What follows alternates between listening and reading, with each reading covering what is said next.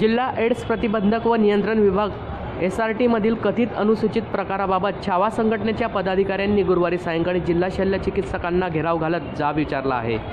कार्यक्रम व्यवस्थापक संजय पहुरकर व महिला कर्मचाऱ्यांवर तात्काळ कारवाई करण्याची मागणी यावेळी छावा संघटनेने केली आहे.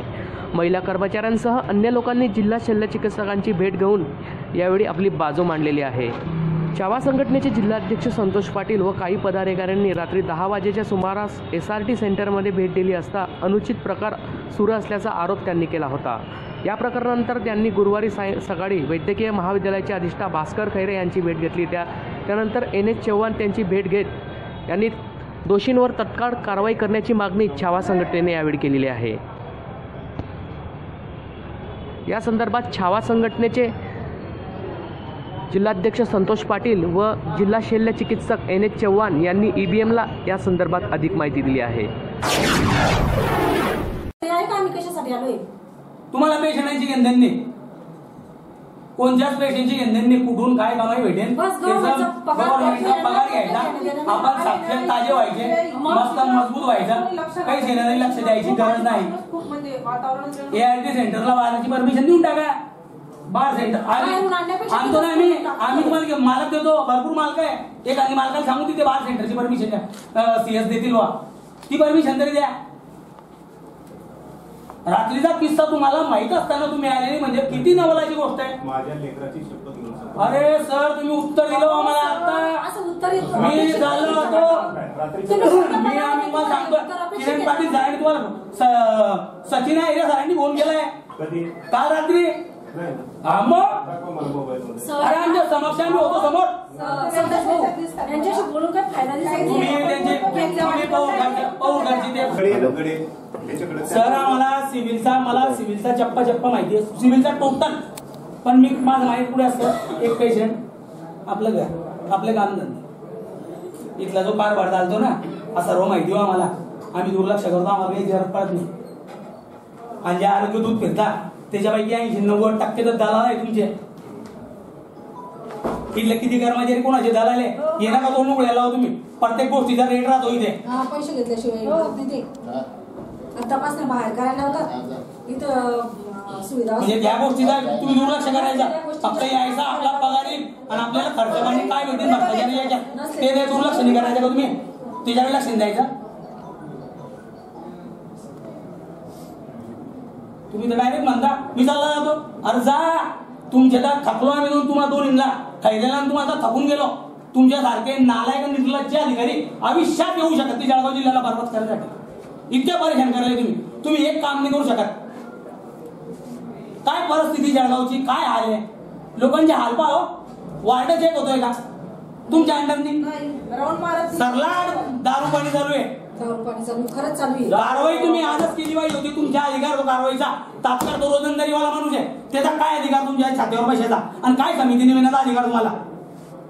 तात्काळ आम्हाला बोलवलं असतं. काय चौकशी पेपरवाले बोलवलं असतं. मी आलो असतो. तुम्हाला प्रूफ देतो आम्ही. काय प्रूफ द्यायचे तुम्हाला? तात्काळ तुम्ही त्याला अधिकार आहे तुम्हाला.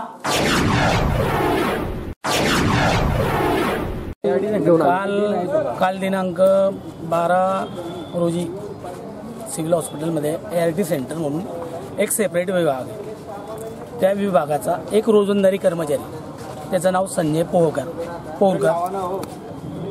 हे रात्री दहा वाजता दारू पित दारू पिऊन व दोन महिला सिस्टर सिव्हिल हॉस्पिटलच्या त्यांचा त्या वार्डाशी संबंध नसताना सहा वाजाला ए आर टी सेंटर बंद होतं. दहा वाजेपर्यंत हे काय करत होते?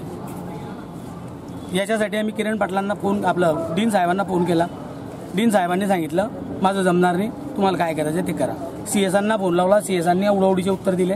ते आले नाही म्हणजे पाठराखण होते. त्याच्यानंतर आम्ही फोन केला किरण पाटील सरांना. किरण पाटील सर डॉक्टर सचिन आयरे व बारी सर हे रात्री आले.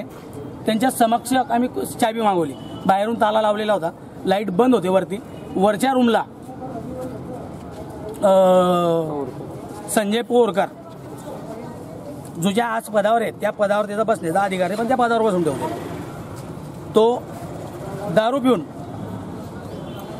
समोर बसलेला होता व महिला त्याच्या खुर्चीवर महिला बसलेल्या होत्या जेवण करत असताना. आम्ही तो प्रकारचा जबाब विचारला का भाऊ काय प्रकार आहे काय नाही रात्री दहा वाजेपर्यंत. तर आम्हाला उडूउडीची उत्तर दिली माझ्या विनवण्या करायला लागला का भाऊ महिलांना सोडा. माझ्यावर काय कर आरोप करायचा आहे? माझ्यावर काय कारवाई करायची? ती माझ्यावर करावी. महिलांवर करू नये विनवणी केली. त्याच्यानंतर आम्ही इथून घरी निघून गेले. आज दिनांक तेरा रोजी आम्ही सी एस साहेबांना जबाब विचारण्यासाठी आलो. सी एस साहेबांनी सरळ सांगितलं मी इथून निघून जातो.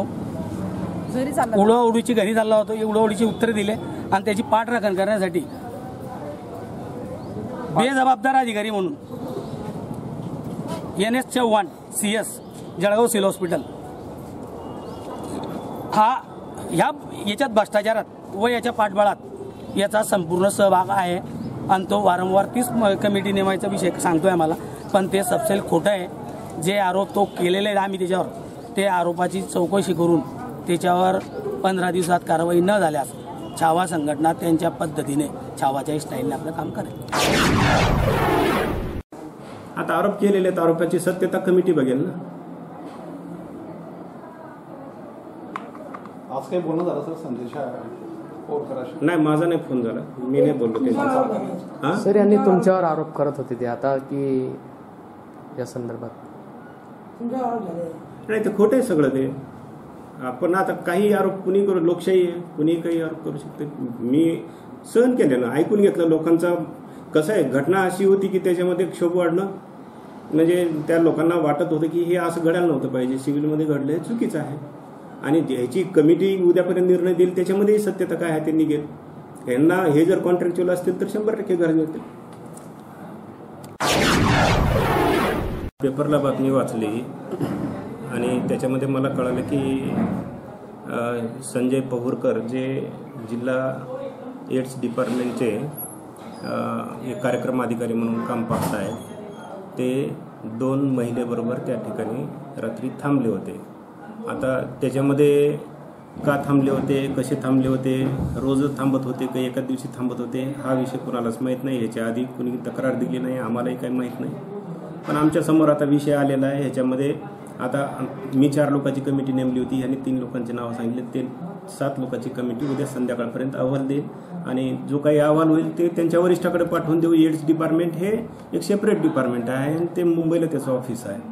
इथं फक्त आपण कंट्रोल करतो आणि संध्याकाळची वेळ त्यांची सहापर्यंतच असते. सहाच्या नंतर त्यांना थांबण्याचा तसं काही अधिकार नसतो पण आता एखादा माणूस गैरप्रकार करतो आणि आपल्याला कळाल्याशिवाय आपण तरी काय करणार आहेत? आपण याच्यामध्ये पूर्वी कळालं असतं तर नोटीस दिली असती पोलिसांना कळविलं असतं. तसं काहीच आपल्याला आलेलं नाही. सर या संदर्भात जो काही प्रकार रात्री उघडकीस आला या संदर्भात काही तुम्ही चौकशी केली का? पुढे काही कारवाई करणार आहे का या संदर्भात? आम्ही याच्यामध्ये सात लोकांची कमिटी नेमलेली आहे आणि ती कमिटी उद्या संध्याकाळपर्यंत रिपोर्ट द्यायला सांगितलेलं त्यांना. काय नेमका प्रकार काय घडला होता रात्री? नेमका प्रकार आता ते म्हणत होते की जेवायला आलेले आहेत. आता नेमकं काय आहे जेव्हा चौकशी पूर्ण होईल त्याच्यामधून लक्षात येईल ते. आज मी सांगू शकत नाही नेमके ते काय कशासाठी थांबले होते ते. आणि दोषी आढळले तर ते घरी जातील. सगळे कॉन्ट्रॅक्च्युअल कर्मचारी आहेत. सगळ्यांना बडतर्फ केली जाते कालच्या दिवशी जो सिव्हिलला प्रकार घडला सहा वाजता त्यांची ड्युटी संपली. दोन लेडीज आणि जो एक जेंट्स पौरकर म्हणून. हा. ते यांची ड्युटी संपल्यानंतर हे पुन्हा दहा वाजता जे दारूची बाटली काही खाण्याचे पदार्थ घेऊन आले परत एका खोलीत गेले तिथं खोली बंद केली घाणेडा प्रकार चालू होता. यांची ड्युटी सहाला संपल्यानंतर यांना पुन्हा दहाला येण्याचं कारण काय? म्हणजे यांच्यावरती कोणत्या वरिष्ठांचा हात आहे की बिंदास तुम्ही इथं आपल्या घरासारखं यूज करा? म्हणजे सिव्हिलला राहता हे मला वाटतं एक हॉटेल झालेलं आहे. की तुम्ही केव्हाही या केव्हाही जा patient hello guys please like comment and subscribe our channel.